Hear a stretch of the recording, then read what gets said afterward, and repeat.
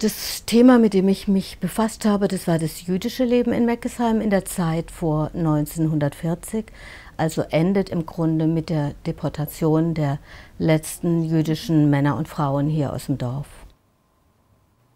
Ich bin vor hm, vielleicht 30 Jahren zufällig über den Meckesheimer Friedhof gestolpert, also über den jüdischen Friedhof und war erstaunt, dass ich bis dahin nie was gehört habe, dass es hier einen jüdischen Friedhof gibt. Und ich fragte dann hier die alten Meckesheimer, äh, wusstet ihr, dass hier Juden gelebt haben? Und sie sagten, ja klar, wussten wir das. Und mehr wussten die Leute aber eigentlich gar nicht zu erzählen. Und ich hatte damals keine Zeit, war durch Familie und Beruf sehr eingespannt und kam eigentlich dann erst die letzten Jahre dazu, da genauer zu recherchieren meine Frage, die mich so eigentlich getrieben hat all die Jahre, war, wer waren diese Menschen hier im Dorf und wie haben sie äh, interagiert mit der damaligen christlichen bäuerlichen Gesellschaft?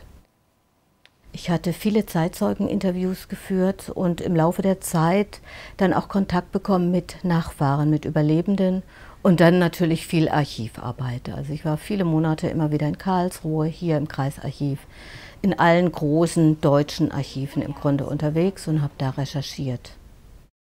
Also überraschend war für mich, dass auch nach dem Krieg, also nach dem Ende des Faschismus, die Opfer, aber auch die Täterfamilien keine Worte gefunden haben für das, was geschehen ist. Also das Schweigen, das auf beiden Seiten zu Hause war, über eine ganze Generation, das hat mich sehr überrascht.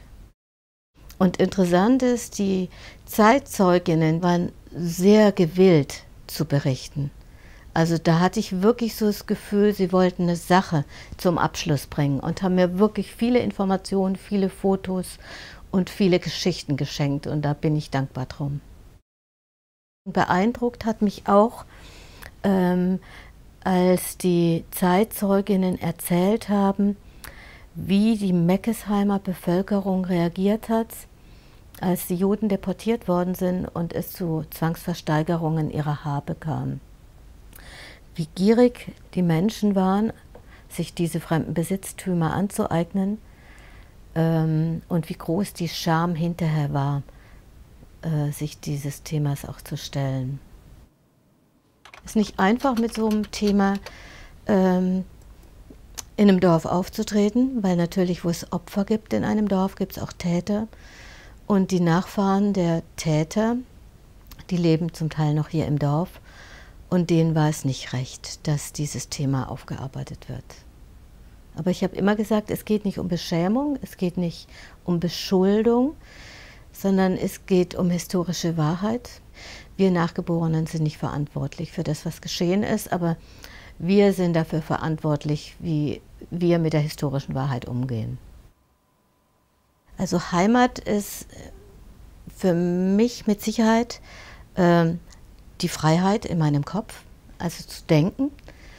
Äh, Heimat ist aber auch das Zusammenleben mit Menschen, die mir wichtig sind. Das ist we weniger ein geografischer Ort als eher ein sozialer Ort oder ein geistiger Ort. Mhm.